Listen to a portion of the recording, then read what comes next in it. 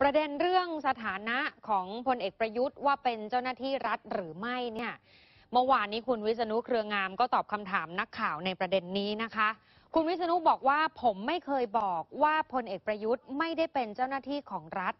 พลเอกประยุทธ์เป็นนายกก็เลยเป็นเจ้าหน้าที่ของรัฐ ผมไม่เคยพูดกลับไปกลับมา ทีนี้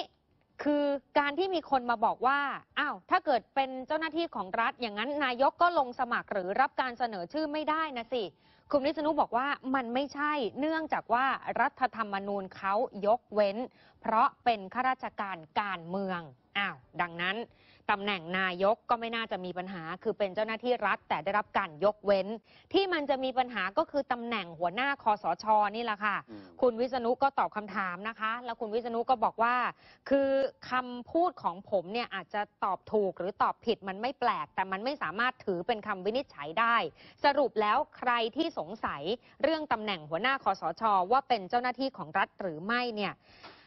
ให้ส่งเรื่องไปที่กกตหรือไม่ก็สารรัฐธรรมนูญวินิจฉัยก็สุดแล้วแต่ใครจะไปแปลไปตีความกัน อืม